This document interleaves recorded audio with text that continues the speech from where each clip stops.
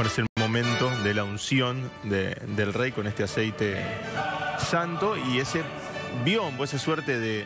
de- Ese tema que vamos a ver, sí, pero volviendo, biombo al aceite, eh, el aceite viene de olivos del monasterio de María Magdalena, Mm. que es donde está enterrada la, la abuela Ajá. del rey Carlos III, madre del príncipe Felipe. Y después esas, esas, eh, olivas fueron trasladadas a Belén y ahí fue elaborado el aceite. Mm.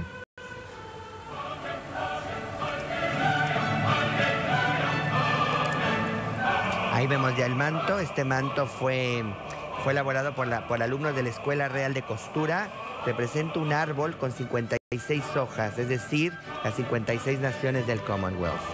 Y ahí atrás está el obispo y el, El rey. arzobispo de Canterbury, el Y rey nadie más. y el Señor. Los ojos de Dios. Un dato que es interesante es decir que la, la Commonwealth no solo está eh, formada por países de los que el rey es jefe de Estado, como Canadá o Australia, sino también naciones que adhieren a la comunidad británica de naciones siendo totalmente independientes y teniendo otros jefes de Estado.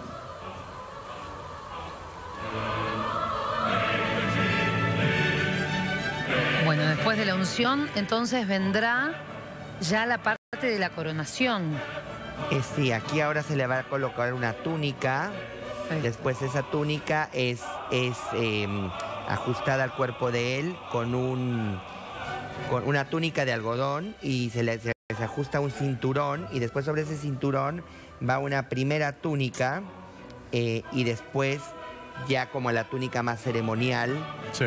eh, sobre la cual después se, se le pondrá la, la Y la fíjese, corona. bueno, Está totalmente Rodolfo Eduardo, despojado. él está despojado tal cual, está Totalmente despojado despojado. en este momento de su, de De su todo. ropaje. De toda dignidad. eh, en una señal de, de humildad en, la, en, esa, en esa unción. Sí, ahora, era- van a- ahora van a empezar a, a- a cubrirlo con todos los signos. Es de- la supertúnica que fue usada por eh, Jorge IV en 1821, por Jorge V en 1911, por Jorge VI en 1937 y por su madre en 1953.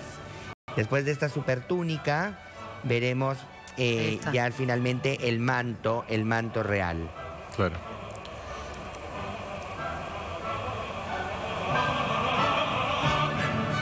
Y ese cinturón que le es colocado, también en ese, ese cinturón se, se usa para que eh, pueda también llevar ahí eh, la espada, que también es símbolo de, de- de, bueno, de, de su reinado, ¿no?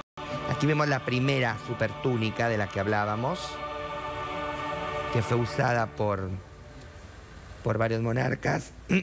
Perdón, el cinturón.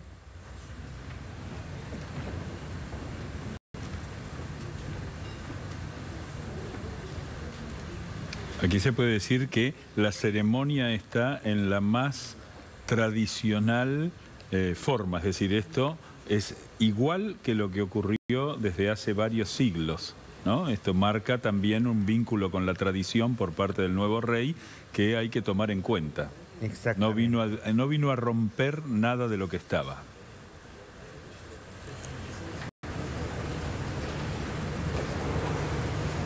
Y ahora sí ya en eh, eh, el trono, ¿eh? ya el- es el, el momento en el que se introduce por primera vez y por primera vez el rey se sienta en el, Se en sienta el así trono para este- recibir Receive los signos de, en este trono del rey. Symbols of military honor and chivalry, that you may be a brave advocate Seáis valiente defensor de los necesitados.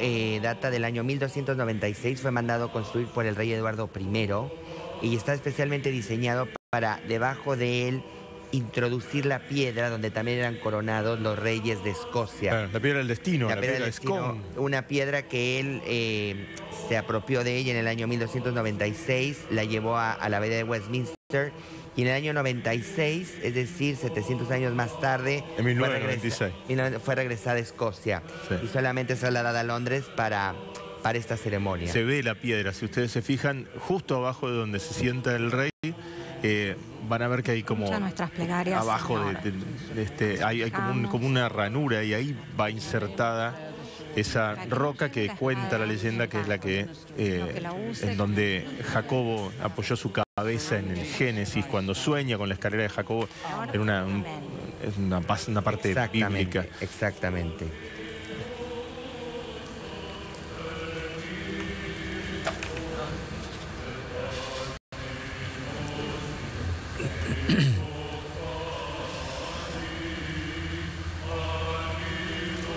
Me presentan la espada.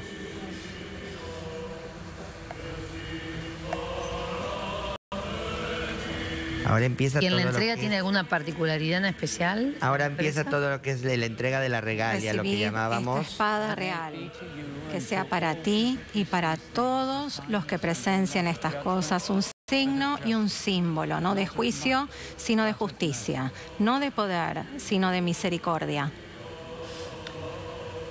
Y por primera vez va a usar el guante que usó su abuelo, un guante que no usó su madre, para justamente recibir, recibir esta espada.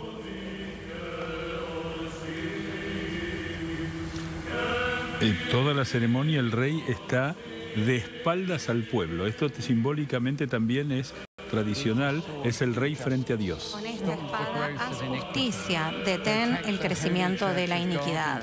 Proteged a la Santa Iglesia de Dios y a todos los hombres de buena voluntad. Ayudad y defended a las viudas y a los huérfanos. Restaurad las cosas que se han deteriorado. Mantened las cosas restauradas.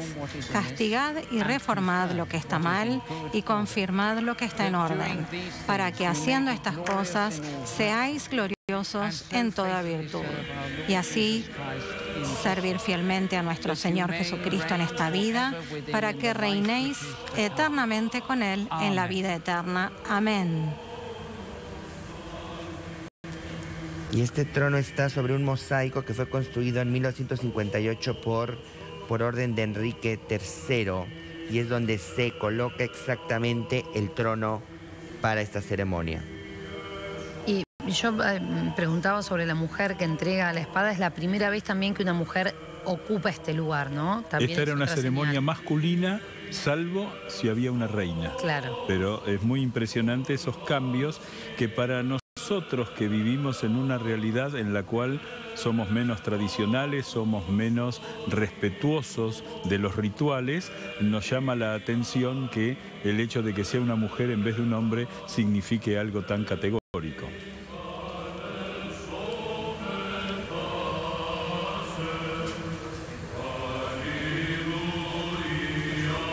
No sé si ya fue colocado en la mano derecha el guante, no, no, no alcanzo Todavía a no, ver. todavía no.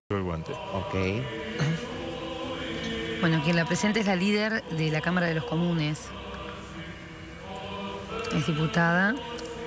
Aquí, bueno, es muy interesante también, antes que, un, que, que alguien, que, que un commoner estuviera en una ceremonia de estas, era algo realmente, era impensable.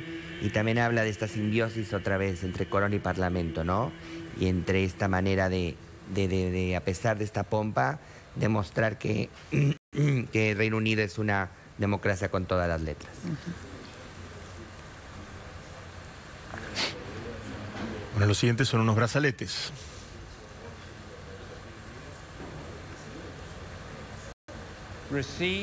Recibid los brazaletes de la sinceridad y la sabiduría, muestras de la protección de Dios que os abraza por todas partes.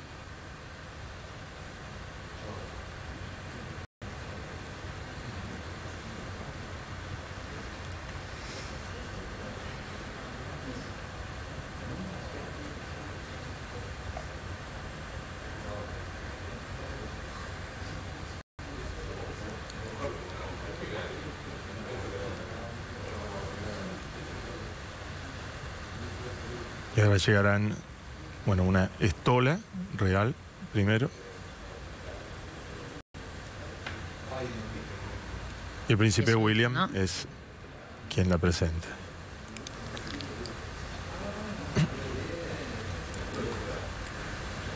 Guillermo presenta la, la estola a, a su padre Que también está usando. y la capa, ¿no? Está usando su capa de la Orden de la Jarretera. A pesar de que las vestimentas tienen una clara connotación religiosa, vale aclarar que el rey no es sacerdote de la Iglesia católica, de la Ahí Iglesia vemos el anglicana. manto, el manto imperial. El manto imperial es colocado en este momento. También es un momento muy significativo porque es su hijo quien lo abrocha.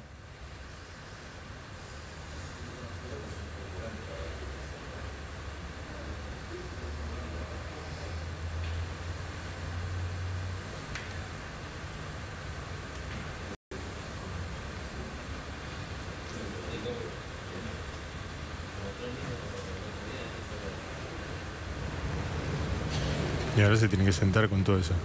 Difícil. Con toda esa Qué capa. combinación Todo lo que le perfecta, vayan, ¿no? que le vayan poniendo, ¿no? No, y debe Moverse ser, debe- con deben todo ser eso, qué prendas difícil. bastante Pesadas. pesadas. Sí. Es- A ver. Y las vestiduras de la salvación.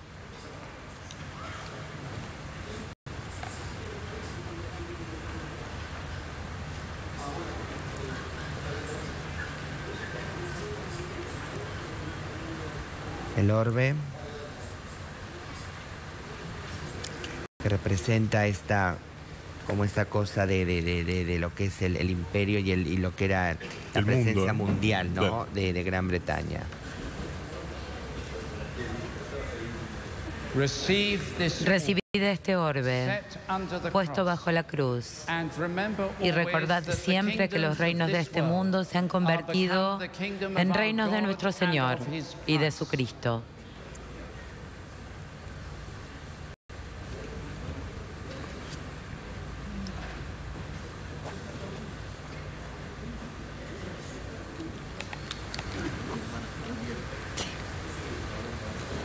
Ahora presentar el anillo.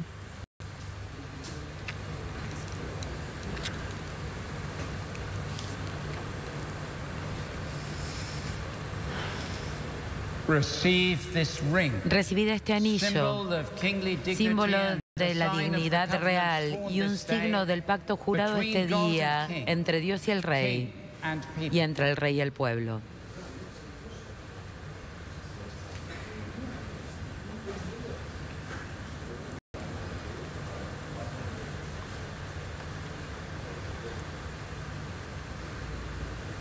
Y ahí llega Rodolfo el guante, que, del que mencionabas. El guante sobre su mano derecha, exactamente, que fue usado la última vez por su abuelo y que es una tradición que él, él retoma.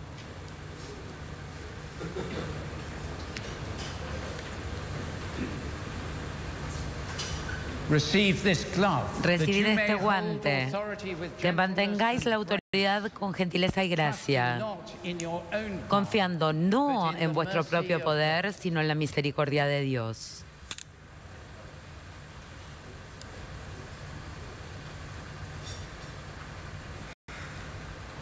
Los arzobispos de Gales y de Escocia presentan el Cetro. royal scepter, the Recibid el cetro of real, power la and insignia del poder real y la justicia,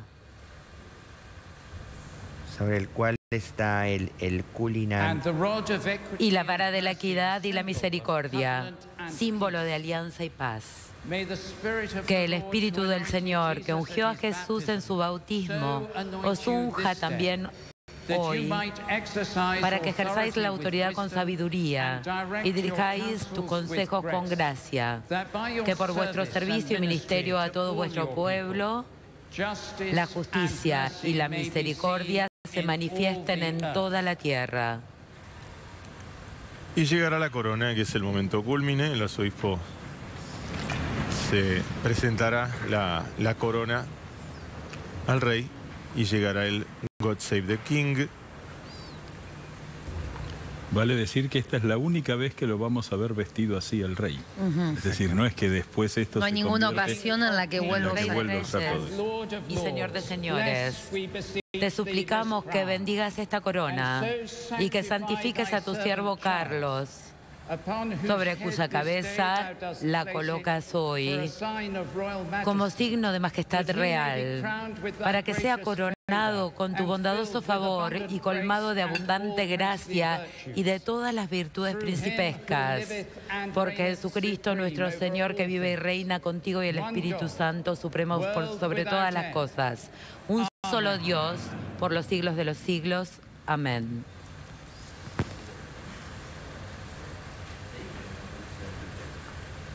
Este es el momento más significativo y esta corona será solamente hoy cuando Él la, porte y la única vez.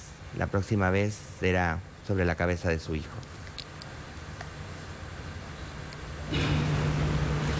Estamos viviendo la historia misma, chicos.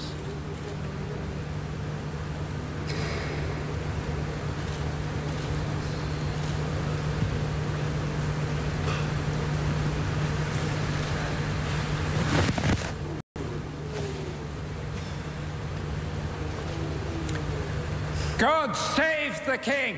Dios salve al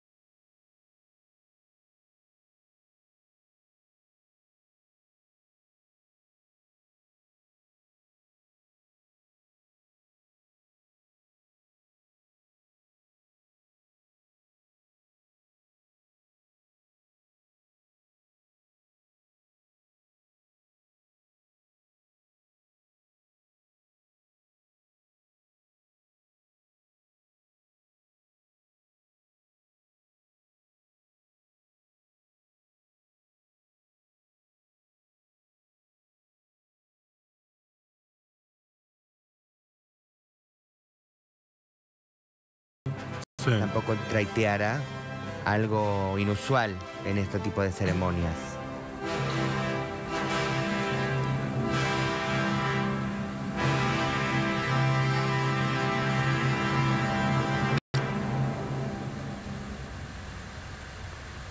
The Lord bless you and keep you.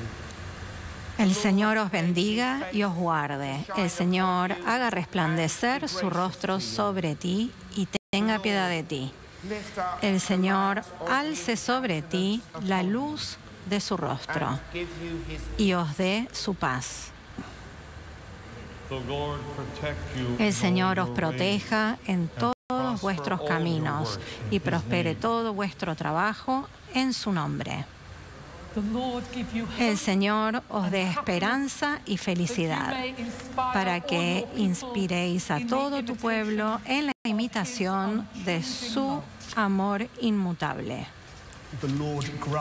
El Señor conceda que la sabiduría y el conocimiento sean la estabilidad de vuestros tiempos y el temor del Señor vuestro tesoro. Que Dios derrame sobre ti las riquezas de su gracia. Os bendiga y los guarde en su santo temor. Os prepare para una eternidad feliz y os reciba al fin en la gloria inmortal. And the blessing of God Y la bendición the de Father, Dios Todopoderoso, Son, and the Padre, Holy Hijo y Spirit Espíritu Santo, esté y permanezca siempre a vuestro lado. Amén. Llegaban todas las bendiciones de los diferentes representantes de las, de las iglesias. Veíamos al arzobispo ortodoxo griego, a la moderadora de las iglesias eh, libres, al secretario general de iglesias de Inglaterra, al cardenal arzobispo de Westminster y por último el arzobispo de Canterbury. Cada una de las bendiciones que llegaban para el rey.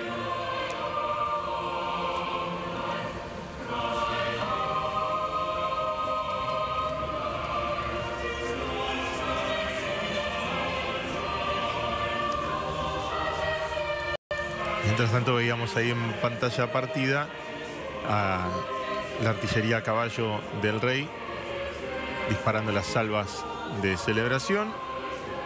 También en la Torre de Londres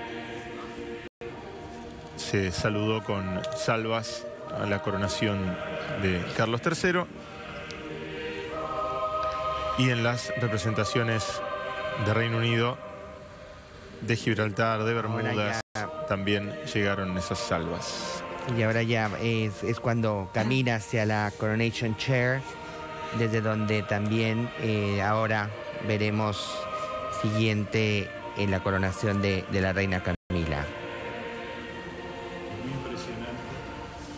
Ver esta eh, imagen que es como una imagen de 300, 400, 500 años atrás. Lo que estamos viendo es exactamente igual es decir, con, la, con todos los eh, hechos de la tecnología moderna, estamos viendo una ceremonia trasladada en el tiempo. ¿no? Eso es. Con esta música de, este compositor y organista británico de, de la época, ¿no? Un hombre que murió en el año 1623. Reiteramos, es el monarca número 40 del Reino Unido.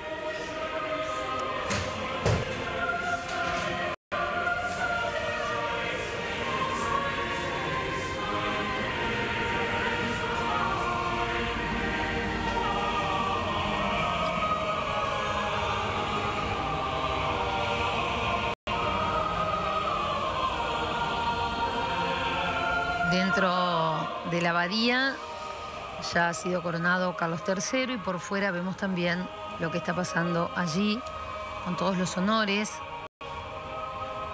que se están rindiendo.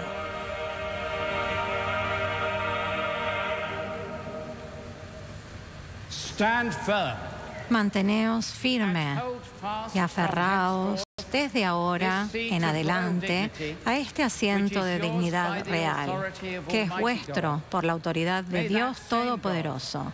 Que ese mismo Dios, cuyo trono es eterno, establezca vuestro trono en la justicia, para que permanezca firme para siempre. aquí se reitera la firmeza, ¿no? Y la, digamos, la corona como la más alta institución del Estado británico. Un detalle a tener en cuenta es que desde ahora nadie va a tocar al rey y ya no se lo nombra más por su nombre, sino directamente como el rey.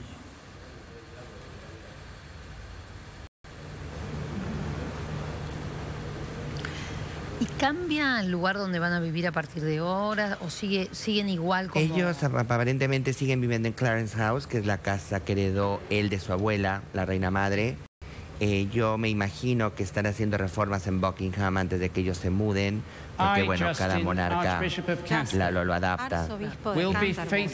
Seré fiel y verdadero, y la fe y la verdad os llevaré, nuestro soberano Señor, defensor de la fe, y a tus herederos y sucesores según la ley, con la ayuda de Dios. El arzobispo se arrodilló ante el nuevo jefe de la Iglesia de Inglaterra. Que también va a ser la manera en que todo el mundo a partir de ahora lo va a saludar. Exactamente. Y las palabras del príncipe de Gales. Yo, Guillermo, príncipe de Gales, os juro mi lealtad y la fe y la verdad, os defenderé con mi vida, con la ayuda de Dios.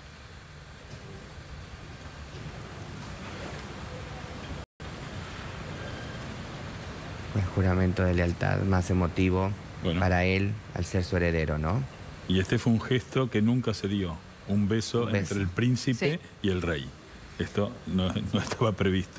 Otro gesto de modernidad que nos puede sonar hasta gracioso a nosotros como, eh, digamos... Más no cercano incluso. Mil años, 40 Hago un reyes, la Argentina, a 170 todas años de constitución, de- 50 deseen presidentes. dar su apoyo, que lo hagan, para que digan Dios salve al rey Carlos. Y que reciten las siguientes I palabras. Juro que rendiré verdadera lealtad a su majestad y a sus herederos y sucesores según la ley, con la ayuda de Dios.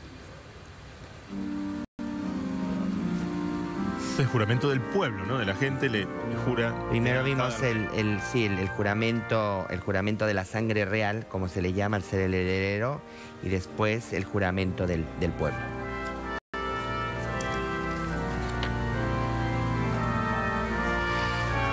Ahora viene la coronación de Camila, que será también otro momento muy, muy simbólico. Camila total- es ungida, coronada y entronizada. Igualmente, sí. La última reina consorte que fue, que fue coronada reina fue la madre de Isabel II, la reina, la reina Isabel. Dios salve al rey. Dios salve al rey Carlos. Larga vida al rey Carlos. Que el rey viva para siempre. Veíamos a Little George, al principito George, muy atento. Que tuvo su primera presentación oficial, ¿no? Claro, bueno, Carlos también siendo muy pequeñito, eh, su madre decidió que fuera la coronación porque quería como que no se perdiera ese momento y tomara conciencia de su, de su papel eh, como heredero también. También es impresionante ver que está el príncipe de Gales